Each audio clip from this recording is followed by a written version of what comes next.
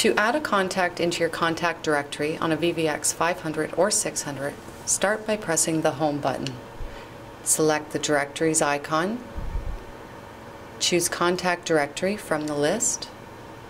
Press the plus button to add a new contact. Next, enter the individual's information, such as first name, last name, contact, being their phone number or an internal extension number, job title and email address, if required, a favorite index. Favorite index is a number between 1 and 999.